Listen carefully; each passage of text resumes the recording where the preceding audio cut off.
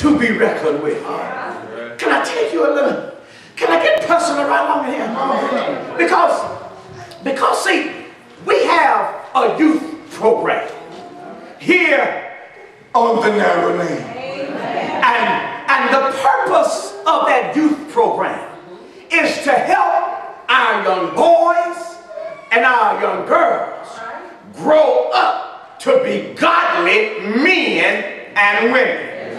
Now, obviously, you've had enough problems with the boys to make sure that they get here for the boys to men's ministry. These first two pews over my right hand side sit the candidates who are boys who are trained on how to be men. Have one of our young men sitting beside my wife in order to learn how to operate the camera so that he can film for the people of God. We're training them and you're doing a mighty good job getting them here. But when my wife and sister saw it, held a meeting for the young girl youth, only two showed up. Only two showed up. Only two. Do you think that that girl is immune from premarital pregnancy? Hello in here. All right. Do you think she's immune from becoming a gang member?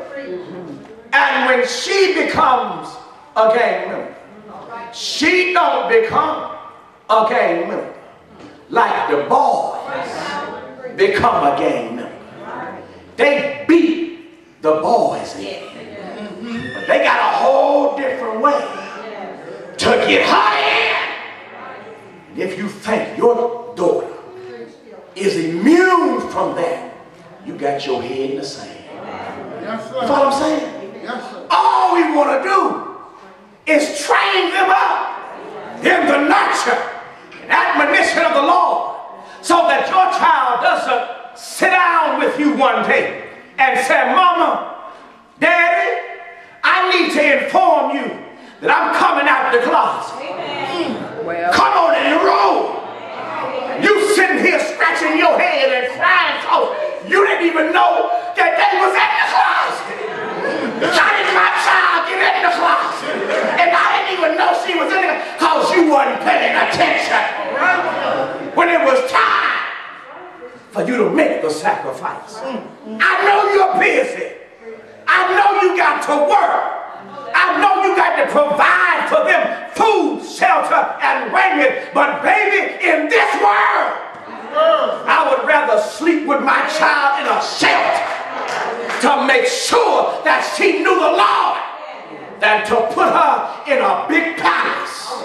Have them on their way to hell. In Matthew chapter 2, even when one was born king, the plot was to destroy him.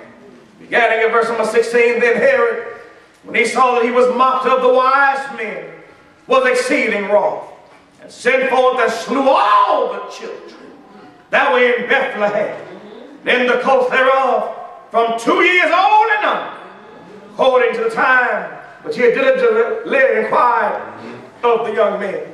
The enemy is trying to kill our children by execution.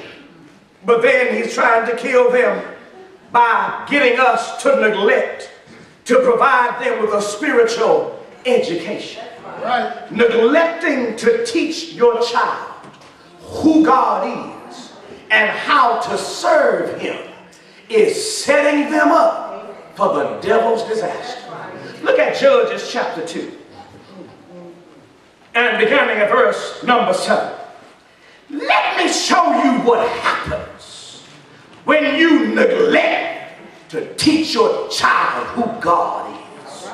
Let me show you a biblical account of what happened when some folk failed to pass down the principles that they had learned from generation to generation.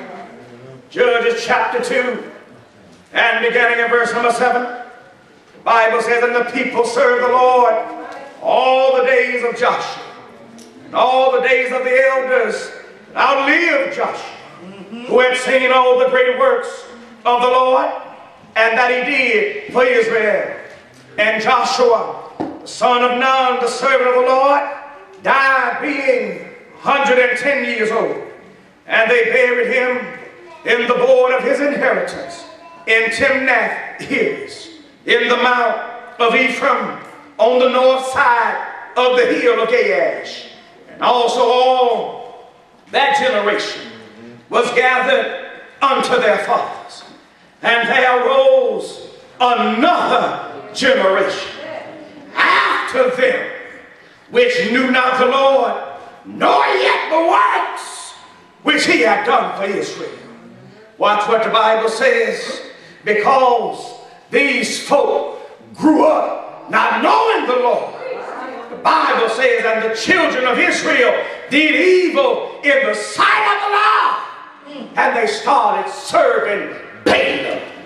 The Bible says, and they forsook the Lord God of their fathers, which had brought them out of the land of Egypt, and followed other gods, the gods of the people that were round about them. And they bowed themselves unto them and provoked the Lord to anger.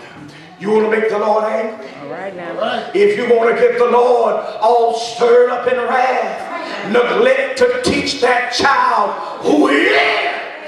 And when he sees them walking a different pathway, when he sees them going astray, not because they knew better, but because you didn't take the time to teach them and show them better, Amen, the. Lord becomes angry. I venture to say he's not just angry at the way wayward children. He's angry at the parents who allowed them to go astray. You can allow your child to go astray by neglecting to put in them what needs to be in them. Does a whole generation pass and nobody knows the Lord? I tell you, I'd be glad to tell you. Because on youth night, you let them go to the movies hmm. rather than come to the youth program. On the day that we're supposed to meet to teach them the principles about what God expects of them as godly children, how to respect you